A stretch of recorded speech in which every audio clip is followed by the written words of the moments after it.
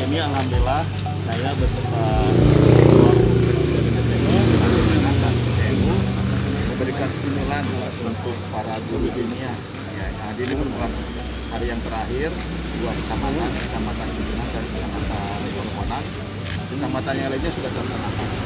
Hal ini adalah perhatian dari pemerintah daerah dalam rangka meningkatkan keagamaan di Cianjur sesuai dengan visi Cianjur, Cianjur maju mandiri, religius, beranak mulia. Mudah-mudahan yang telah diberikan oleh pemerintah daerah ini bisa membantu. Dan juga nanti saya sampaikan mohon doanya, mohon doanya Cianjur cepat pulih dari COVID-19 ya agar apa sekolah sudah bisa dibuka lagi ya, dan ekonomi bisa meningkat. Karena apa? Karena mereka adalah tokoh-tokoh agama yang senantiasa berdoa Oh, bentuk perhatian pemerintah sendiri terhadap dunia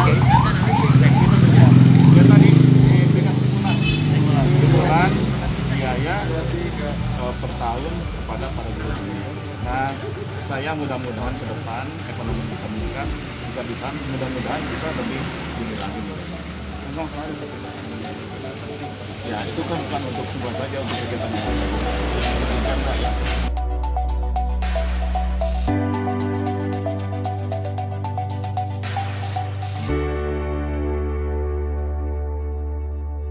Alhamdulillah pada hari ini ketika DPPD Kabupaten Cianjur bisa memberikan stimulan kepada guru gurunya per desa satu orang. Karena eh, jumlah anggaran yang terbatas dan ini juga merupakan kebijakan Pak Bupati yang pro kepada guru gurunya dampak daripada COVID-19 dalam keadaan PPKM memberikan stimulan sebesar satu juta rupiah per guru.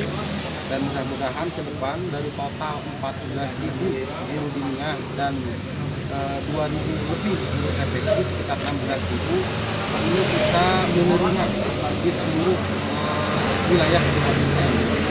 Selain itu juga kita ada program-program yang sifatnya bukan konsumtif seperti peningkatan kurikulum, peningkatan kurikulum, kemudian juga pelatihan-pelatihan guru tentunya ini dalam rangka meningkatkan kualitas dan kuantitas guru dunia dan juga meningkatkan pelayanan kepada masyarakat dalam penyelenggaraan mata kuliah di Kabupaten Cianjur. Hari ini ada berapa guru yang mendapatkan stimulan? Hari ini dua kecamatan, kecamatan Kondang dan kecamatan Lekong, kurang lebih ada 45 orang yang mendapatkan bantuan stimulan dari pemerintah daerah Kabupaten Cianjur melalui P3 DPP. Oke berkaitan dengan eh, apa pelaksanaan budaya koperasi ini sebetulnya apa sih?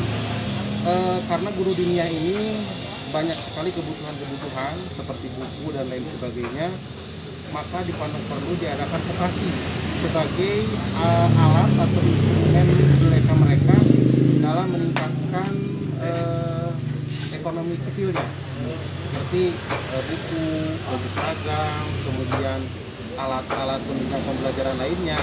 Kalau ada koperasi maka beban mereka akan kita turunkan sehingga memberikan pelayanan yang lebih ringan kepada masyarakat.